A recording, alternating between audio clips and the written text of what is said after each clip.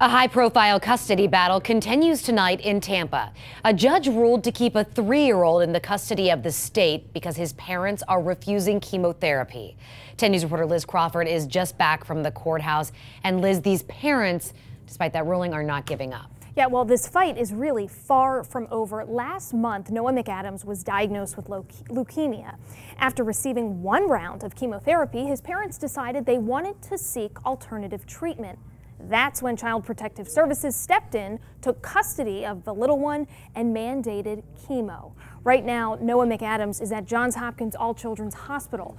During today's hearing, the judge ruled to keep Noah in the custody of the state, but he's allowed to stay with his maternal grandparents. Noah's parents were permitted visitation rights as long as Noah continues to follow hospital protocol.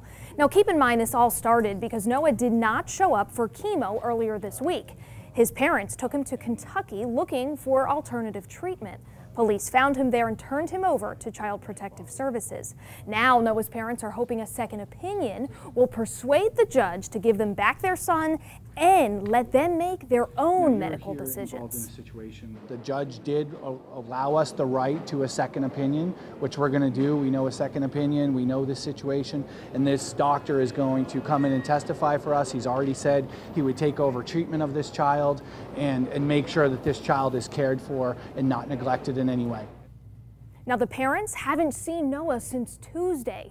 They told me they've been nervous wrecks and were planning to see him right away now that they have visitation rights. Keep in mind, the law says the state has the right to provide medical treatment to a child in a life or death scenario, even if the parents disagree. The judge will rule on whether or not the parents must continue with chemo once she hears from another doctor. That hearing has not yet been scheduled, could be as early as tomorrow.